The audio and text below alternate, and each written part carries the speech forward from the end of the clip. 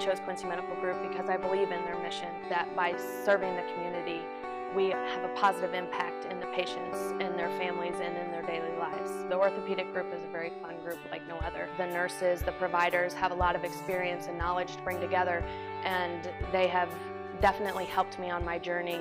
This has been a big change for me, but this is what I've wanted. This is, I wanted to see that patient progression from seeing the patient walk in the door and meeting them for the first time and developing that relationship, gaining their trust, and then also meeting them in the operating room and they remember you and then seeing them through their progress. I mean, that has been the 100% reason why I chose to do this.